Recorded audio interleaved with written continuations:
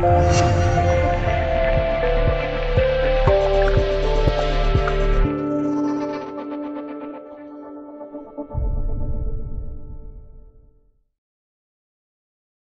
十世纪的中国战斗机，不管歼七还是歼八还是飞豹，空战挂载武器都是近距的霹雳五导弹或者霹雳八 B 导弹。虽然歼八和飞豹机头尺寸都相当的大，可以容纳七百毫米以上天线直径的雷达，这其中就引起了很多人的质疑。那么大机头雷达为啥连个像样的中距导弹都装不了？歼七战斗机机头雷达口径极小。挂红外导弹、霹雳五导弹无可厚非。同时代的歼八 II 战斗机空有大口径雷达，常见挂载就是红外格斗导弹。原因就是中国的脉冲多普勒雷达和中距拦射导弹成熟的很晚，到二零零五年中国空军才第一次试射霹雳十二主动雷达制导导弹获得成功。从此之后，中国国产战斗机才开始装备国产中距雷达制导导弹。歼八 II 战斗机最初以四发霹雳五红外导弹和机炮为空战武器。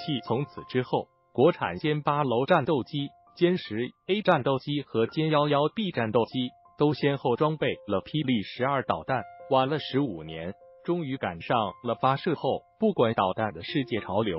霹雳十二导弹是一种先进的主动雷达导弹。这种导弹技术最初来自于美国海军七十年代的 F 幺四战斗机。配套的不死鸟导弹，经过二十年研发，九十年代开始，美国人终于给空军的战斗机也装上了 AIM 幺二零主动雷达导弹。这种导弹一经推出，就获得了不少战果，世界各国纷纷跟进。依靠不死鸟导弹和 Block 六雷达，F 幺四可以二百公里外同时射击六架图二十六轰炸机。其主要特征是，初期依靠程序制导。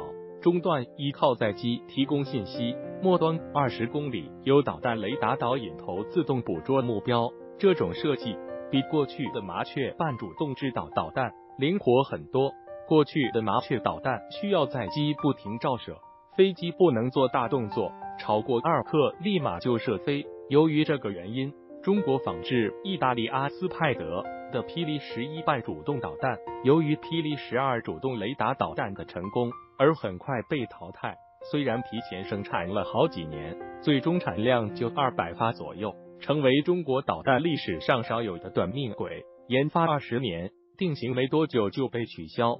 最早期歼十 A 战斗机挂载两发霹雳十一导弹，但是很快就淘汰光了。后来迅速换装霹雳十二导弹，比美国晚了十五年。歼幺幺 B 训练也经常挂载两发霹雳十二和两发霹雳八 B 导弹。有人注意到一个事实，最近好像歼幺零 B 战斗机挂载的霹雳十二导弹数量好像多了一倍，一个挂点挂了两发。最近歼幺零 B 战斗机挂载霹雳十二导弹比歼十 A 多了一倍，有人就问：从平台的机动性能来说，歼幺零 B 战斗机不比歼十 A 有太大的进步，为何要多挂一倍的中距导弹？或许我们可以看到另外一个另类的答案。雷达的多目标能力限制，最早中国歼八楼和歼十 A、歼幺幺 B 雷达同时对付两个目标比较有把握，同时攻击的目标再多，要保证命中率就比较难。而后来的的歼幺零 B 战斗机由于更换了相控阵雷达，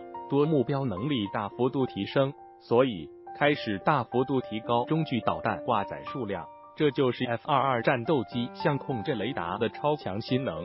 能同时引导多发导弹对多个目标发起攻击。由于歼幺零 B、歼幺零 C 更换了相控阵雷达，还有先进电子战设备，空军明显感受到战斗力的提升。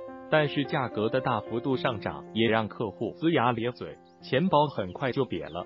当然，一次可以轻松打四个敌机的战斗机，价格贵点也不是不可承受。